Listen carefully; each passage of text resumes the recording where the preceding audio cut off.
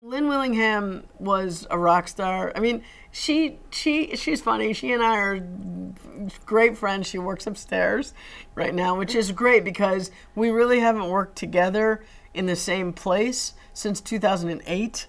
So it's really great.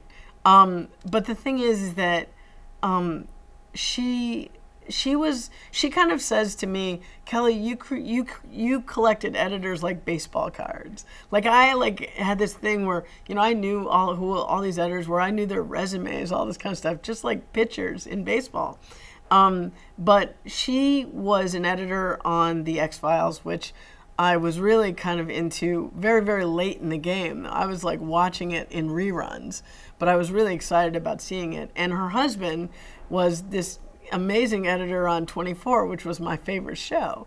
So I was just like, wow, that's an you know that's an editing powerhouse right there. And um, I just got a chance through another friend of mine who was an editor. His name is Juan Garza. He got this job on Revelations, and he was going to bring me on as an assistant. And when I found out that Lynne Willingham was also, it was a mini series. So they had like, I think we ended up with like four or five different editors at one point. Um, I mean, together it was like massive. Um, we had a big crew, and uh, and she was one of the editors, and I was really excited. And I remember the first day she came in, you know, um, uh, the post producer Paul Rabwin introduced me to her, and he said, "Kelley, and this is Lynne," and I said, you know, my eyes got big, and I'm like, "Hi, I'm a big fan of yours," and she was like. It was just so weird. She says, "Oh my God, it was so strange," and I'm like, you know, now I will say, and I'm trying honestly, it's like you want to be as gracious as possible, but people do that to me, and I'm I feel the same way. I'm like, what, what is I'm you know why why are you treating me? I'm like Justin Bieber. I'm certainly not, you know. but it was like yeah, I was like really really psyched to work for her, and she was like an incredibly nice person, and she's like probably the epitome of the best teacher of how to handle the job you know, it's like she's a great editor, but she's also fantastic in the room, and she's really like she's got a very level head. She's one of the best people ever to, especially like, I'm trying to think of the best way to say this.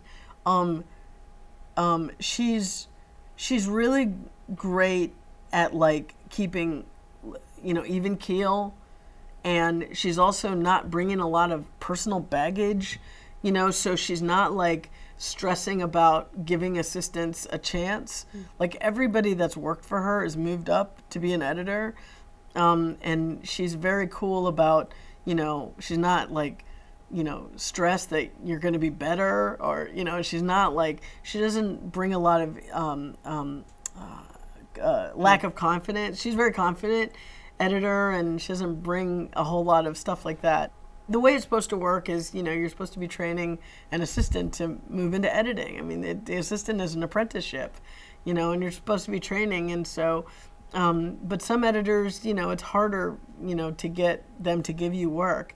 And with Lynne Willingham, she's like really good at like, you know, letting you try and, and giving you great notes.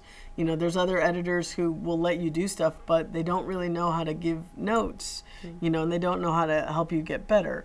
And she's fantastic at all of those things.